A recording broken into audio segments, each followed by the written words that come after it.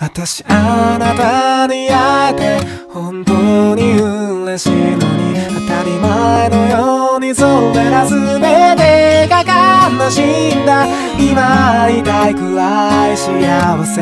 な思い出がいつか来るよ別れを空で出歩く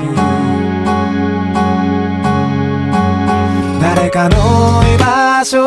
奪い生きるくらいならばもう私は石ころにでもなれたならいいなだとしたら勘違いも戸惑いもないそうやってあなたまでも知らないままで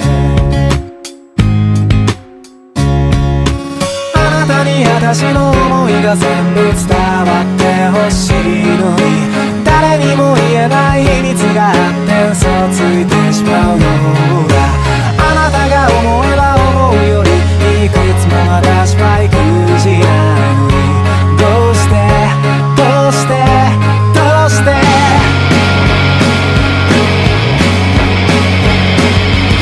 ない悲しみもほころびもあなたといればそれで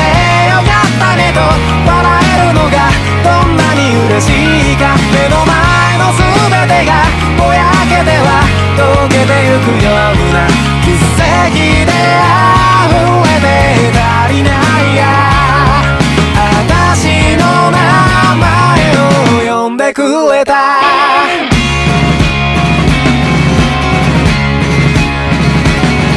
なたが居場所なくしさまようくらいならばもう誰かが身代わりになればなんて思うんだ今ささやかで確かな未来よりきっと繰り返しながら